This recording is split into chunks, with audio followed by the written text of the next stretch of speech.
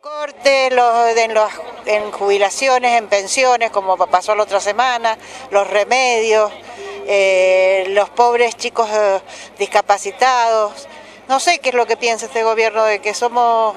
Él iba a terminar con la pobreza, lo que va a terminar es con todos muertos. Eso es lo que debe pretender, más o menos. ¿Han, han recibido la respuesta de concejales eh, locales? Sí, de Natalia Galamba y bueno, los de la parte del justicialismo, porque la parte del radicalismo se ve que no existen ellos.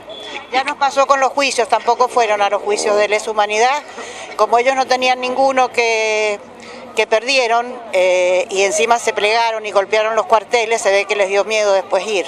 Nosotros estábamos por la justicia, no estábamos eh, para que para reclamar otra cosa, pero ellos ni, no se presentó ninguno de ellos, la verdad que es da vergüenza. Da vergüenza porque querían un cambio, si el cambio es este, que terminemos todos en, en las tumbas, me parece que es bastante triste por parte de ellos no participar. El reclamo, el apoyo a los pensionados y jubilados, que le están sacando más que nada la medicación, ¿no? y que el, el remedio es un bienestar social, es un bien común, es para la salud, y este, no ha sido justa, digamos, la medida que han tomado con algunos este, eh, jubilados y pensionados con respecto a la medicación con sus, enfermedades crónicas.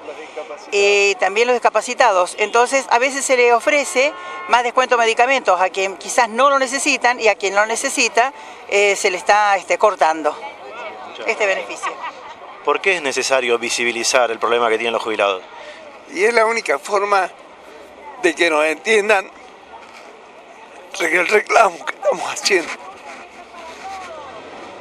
Mira, en el caso mío, hace dos años que estoy esperando una prótesis de rodilla. Me tienen todo, recién vengo del PAMI. Hablan con la, con la proveedora. La proveedora dicen que va a llamar al médico. Hasta incluso llegué el día 24 a estar internado.